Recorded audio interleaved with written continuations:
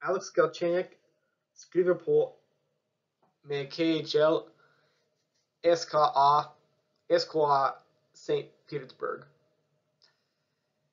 Galchenyuk har spelat för Arizona, Colorado, Minnesota, Montreal, Ottawa, Pittsburgh och Toronto.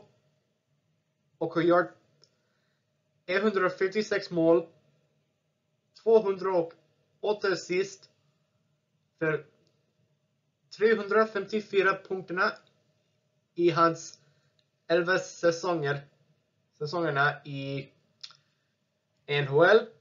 Och nu, han är med St. Petersburg i Ryssland. Så grattis till honom och eh, uh, allt bäst!